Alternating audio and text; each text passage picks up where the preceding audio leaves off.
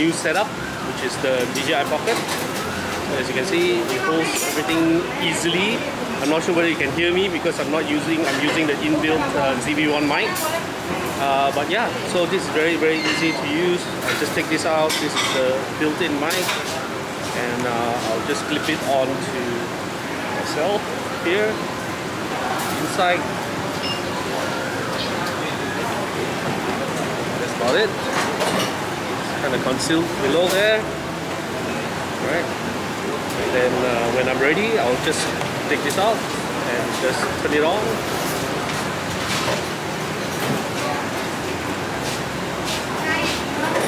and then start recording. Hopefully it works with a built-in mic right now and I'm looking at myself recording myself. That's so cool. As you can see the field of view is pretty good. Alright. So this is much easier for me to just take out and uh, film.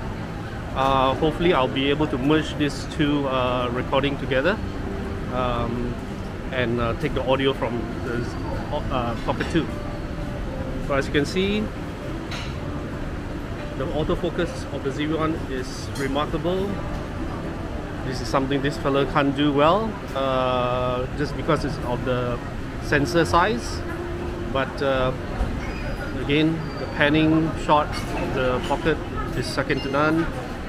And there's another thing I wanted to try out later in terms of uh, uh, different light condition, then you will be able to see hopefully the, the main benefit of having the Pocket 2, which is uh, uh, less tearing and artifacts uh, in the video compared to the ZV-1 and also for example an action camera or the phone. Uh, hopefully I'll be able to capture that later yeah so the other disadvantage for this fella is of course the battery is built in and uh, you won't be able to last the whole day and uh, but we'll see how far it goes Ah, I just realized I didn't turn on the wireless mic just now. But right now I'm recording on both the ZV-1 and the uh, DJI Pocket 2. As you can see, there is a difference in field of view. Okay. Let's test out the stabilization, shall we? While we are walking. So we are at uh, Petaling Street this morning just had our breakfast and now we're going uh, to walk to the temple and then we're gonna grab lunch probably here as well so what do you think I can see from the monitor I think the ZV-1 has a better bokeh effect.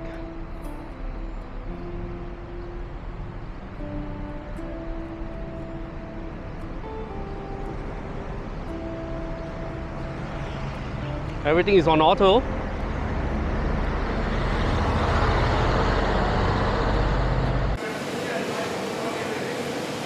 So we're just opposite the temple. It's a bright sunlight today beautiful day. And now I'm gonna try to walk into this little corridor here. And I'm gonna try to show you and there's a change of lighting condition.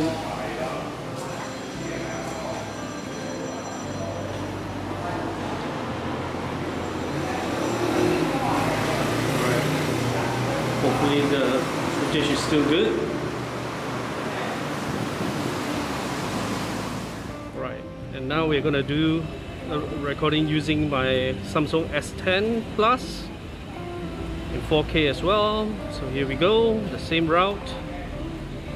Right sunny condition. Here we go into this.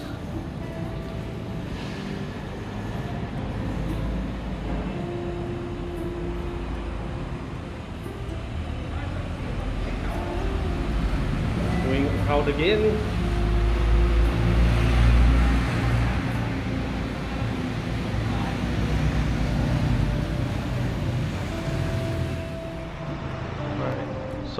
now I'm on a DJI Pocket I'm just gonna make the same route I just took.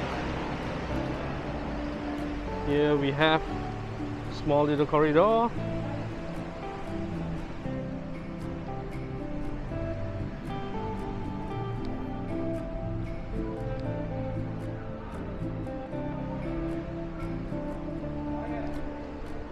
Here we're going out again.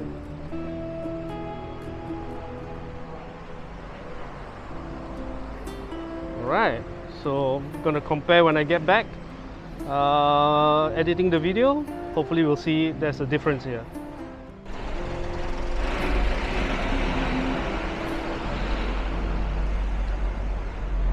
So we're just walking down Petaling Street. Uh, this is the very popular open area, but unfortunately, there are a lot of uh,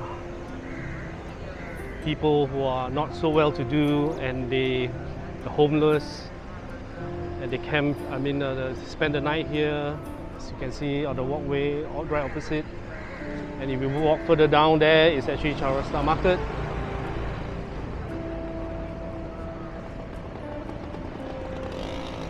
Get on over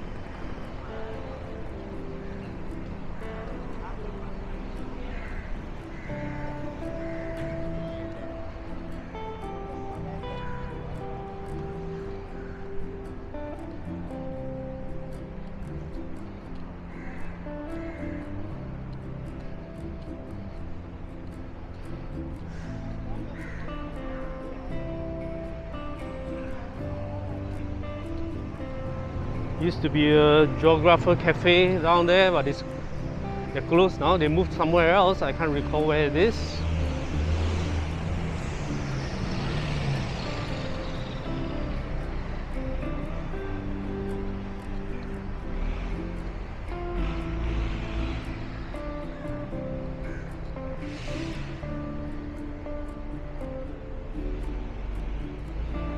Alright, so that's from the DJI Pocket. I'm gonna change over now to the ZV-1. Here we are with the ZV-1 and uh, it's recording from the built-in mic. Alright, so with active stabilization everything is on, on auto mode. Let's go.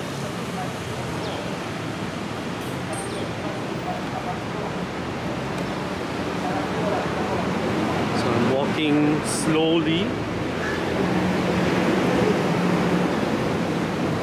to assist in the stabilization, hopefully. Here's where we have the change of lighting conditions.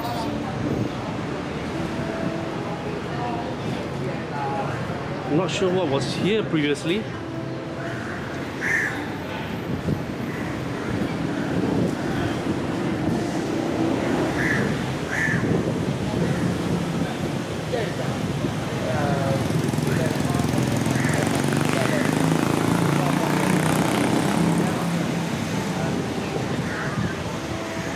Let's go down this way.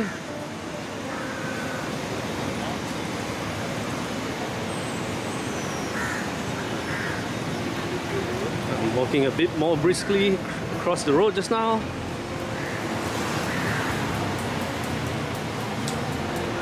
And there's the beautiful Menara Maybank.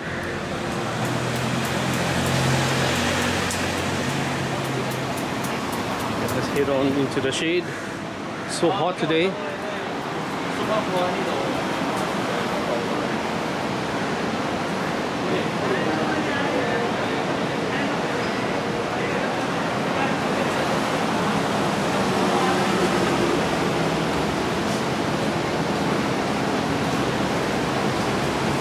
Let's go into the shade again.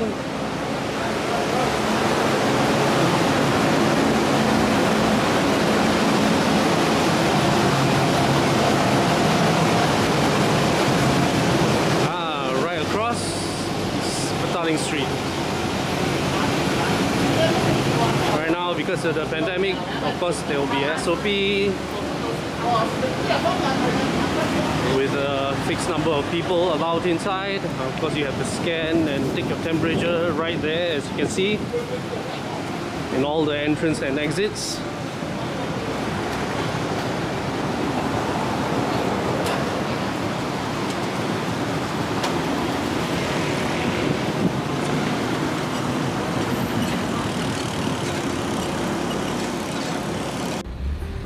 I'm back on my Samsung S10 Plus. Just gonna do a short walk here. Unfortunately, it's uh, quite low on storage space, so I'm not sure how long I can take this.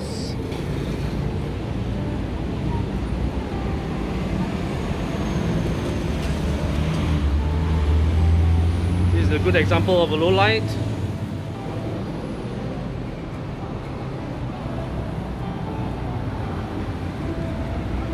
Oops, nearly tripped over just now. There's a famous pork noodle shop on the right.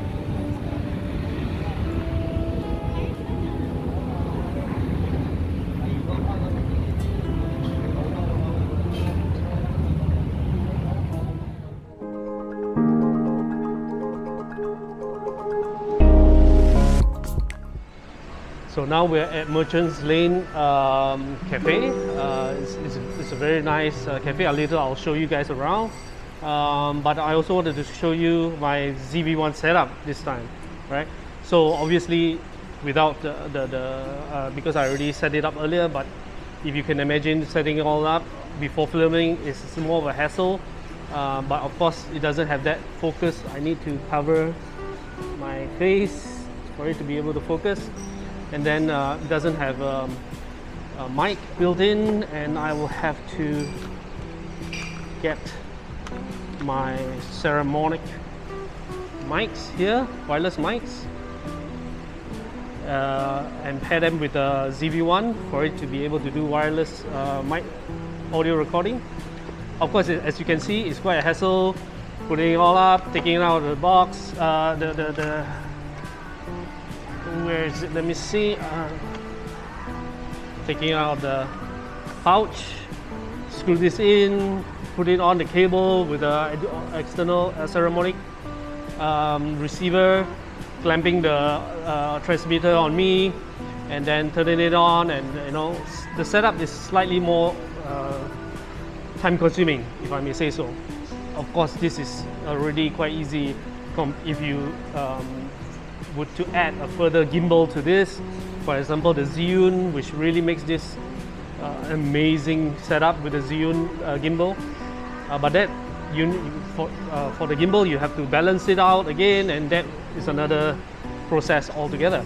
So, what I like about the um, DJI Pocket is that you know it, it's so simple to, to take out of your pocket and start filming uh, almost uh, immediately.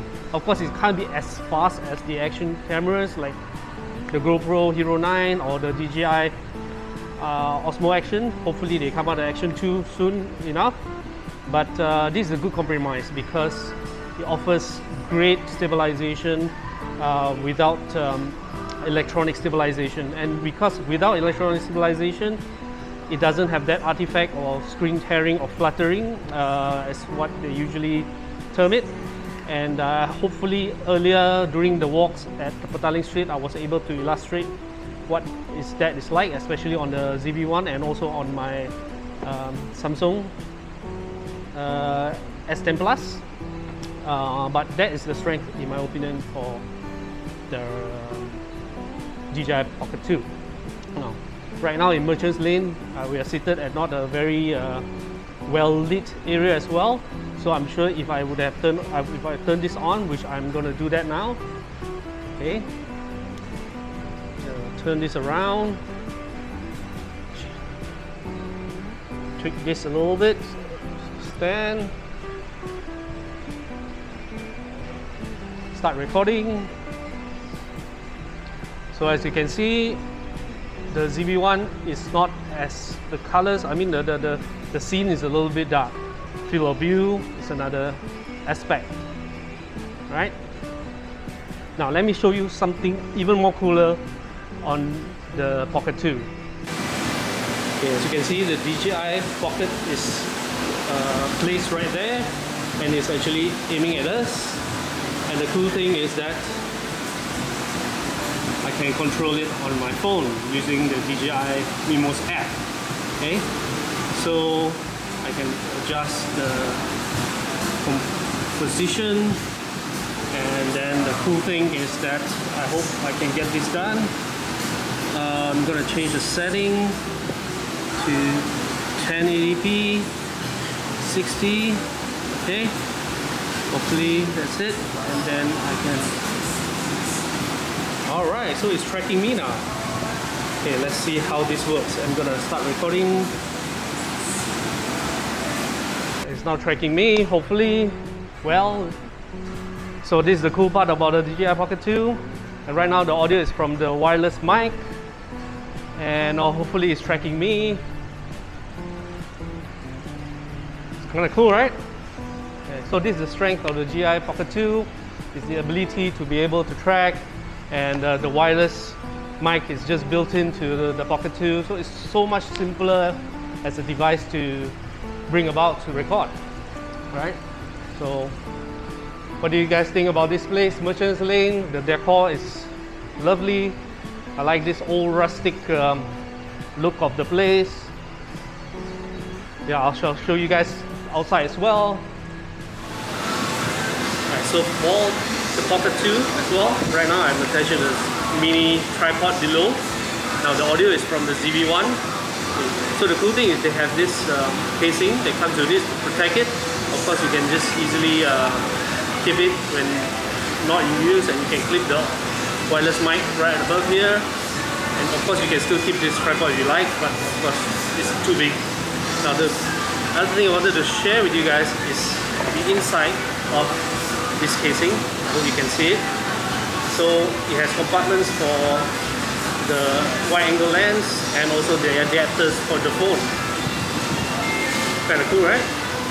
Is what the ZV-1 does very well in the composition, autofocus, and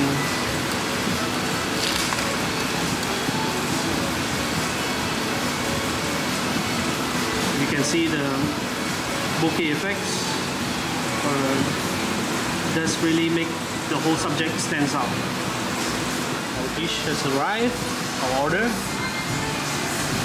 Uh, this is the fish rice. This is actually salmon, cubes of salmon. And this is the uh, unique and popular pancake nasi lemak. Isn't this gorgeous? Uh, this is my setup right now for this cafe. I'm doing filming this on the S10 Plus.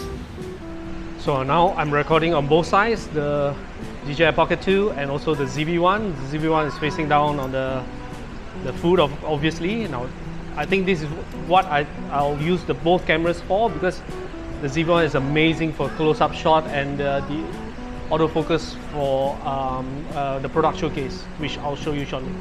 So I'm gonna try the fish rice. It's a nice piece with the onions and the peppers.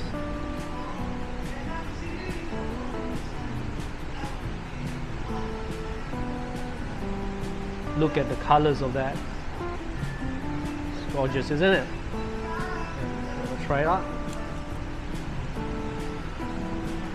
Mmm. Mmm. Mm. Oh, the flavors. My goodness. There's um, on the onions. Wow. Fantastic. Mm. Mm. So, so good. Right. Let's move on to the star of the show. Curious how this pancake works. Right, back to the ZV-1. So you can see here, these are the chicken rendang. This is the um, um, onion sambal, the eggs, and the pancake is right below there. And hidden, tucked away, the bottom will be the anchovies and um, peanuts. take this out of the way. You can see that. So okay, let's tuck in.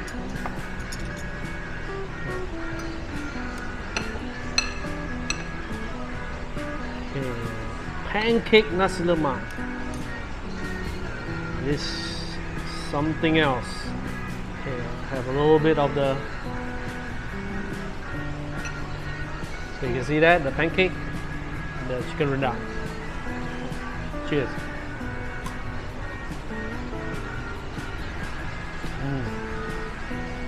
The anchovies is a bit um, not as crunchy uh, as I expected, but the rendang. Hmm. Mm. Portions here is huge.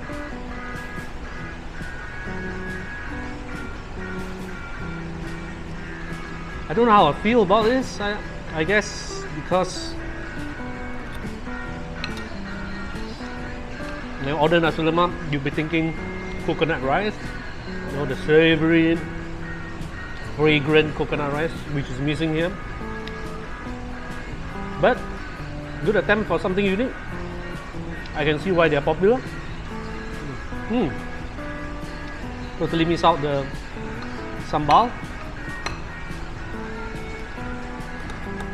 Give this a try.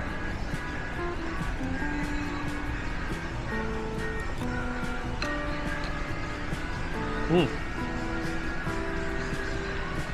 Very fresh. Mm. Delightful.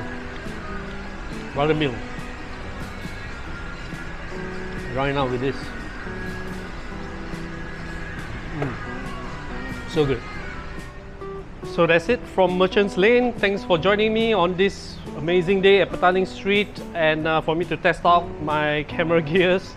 Uh, sorry, it was a little bit out of topic, but uh, I'm quite passionate about this because I want to give you guys the best footage and uh, view of the things I'm capturing. So anyway, if you guys could, do subscribe to our channel as it would be immensely helpful to us. And um, I guess I'll see you guys in the next videos then. Bye! Well, I'll go finish my meal.